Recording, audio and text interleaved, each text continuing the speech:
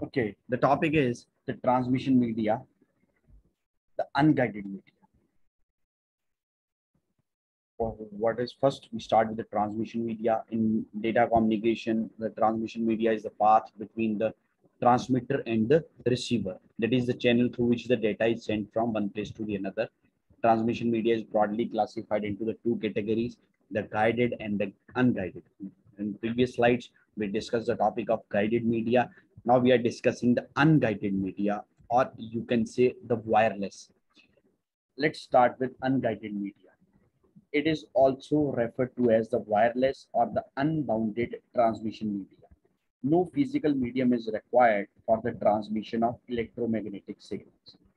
Now what is uh, happened in the case of unguided media? First the no wire is there.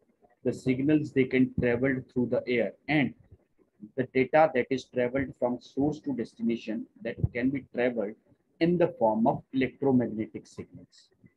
The no wire is there, so they are unbounded. The no bound is there. They can choose any of the path that is required for sender to the receiver. This is called the unguided medium.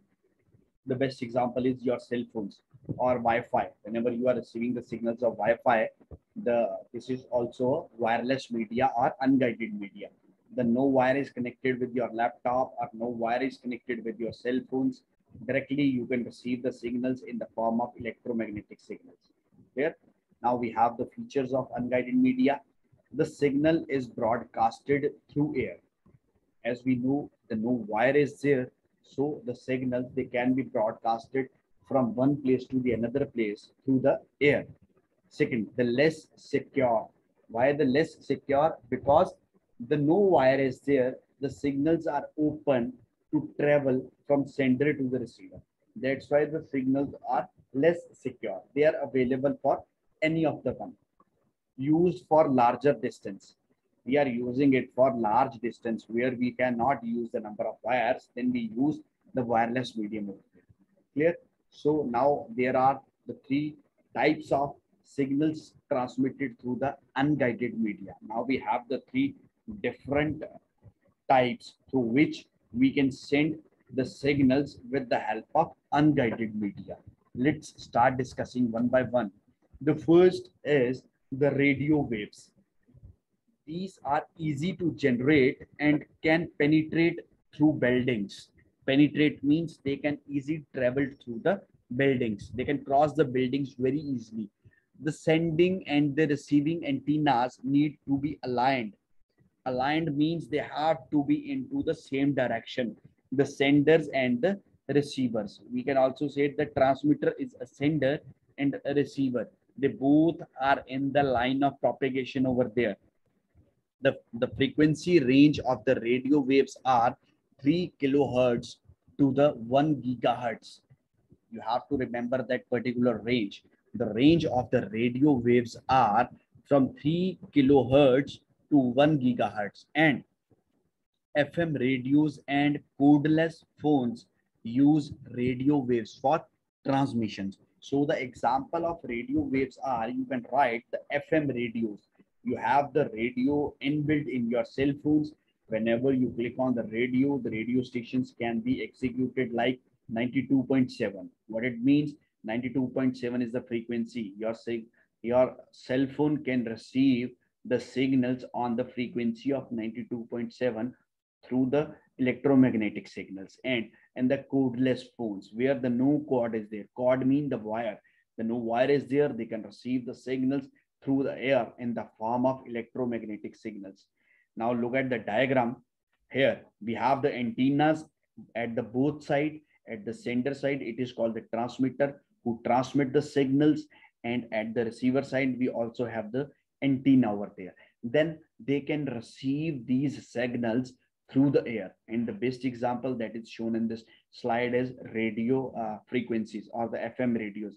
First we have the tape recorders where we have the antennas or in the number of cars you can see the antennas that is placed at the upper of the car.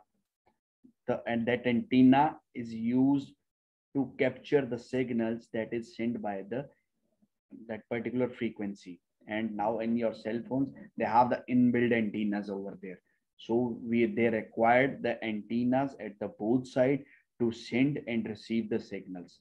So this is all about the radio waves. Now the second is microwaves. Uh, it is a line of sight transmission that is the sending and the receiving antennas need to be properly aligned with each other. The distance covered by the signal is directly proportional to the height of the antenna. That's why you are looking the number of antennas or the uh, num number of these type of towers or the antennas that are placed in your cities and they are placed at the top of the home because they required a maximum height for that antennas to transfer the signals so and the uh, distance covered by uh, the signals is directly depends upon the height of the antennas. The frequency range of the microwave is from 1 gigahertz to the 300 gigahertz.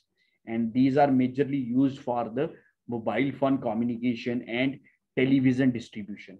So the uh, microwaves they are used in mobile phone communications. You are using the mobile phones. You are uh, this is the basic example that number of times you see the sometimes you have the less signals in your cell phones.